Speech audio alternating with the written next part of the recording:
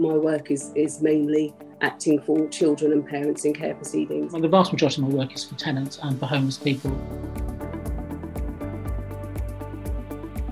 The sort of work that we do deals with the most vulnerable adults and children in society because they are facing the loss of the, their children from their care potentially and potentially um, losing the legal right to be considered that child's parent. I represented a young man with learning disabilities who was living with his family at home, but he was being kept overnight in a kennel outside his house. The ability to access justice, regardless of class, creed, background, income, is the bedrock of a fair and just society that children with special educational needs and disabilities are increasingly being failed by a system that's designed to support them. Legal aid should be available for all victims of domestic abuse, um, irrespective of means to pay. It's not an exaggeration to say that the cases that we deal with are often uh, often involve life and death issues. I think that the a, a well-funded public interest legal system is a, is like public health. It's about building institutions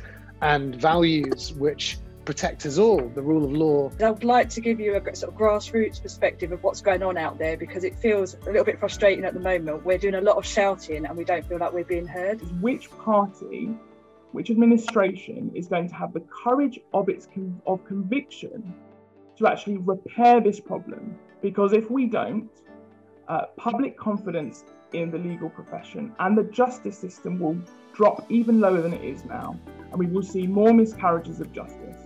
It can be physically and emotionally draining for us. Um, it can also lead to vicarious trauma.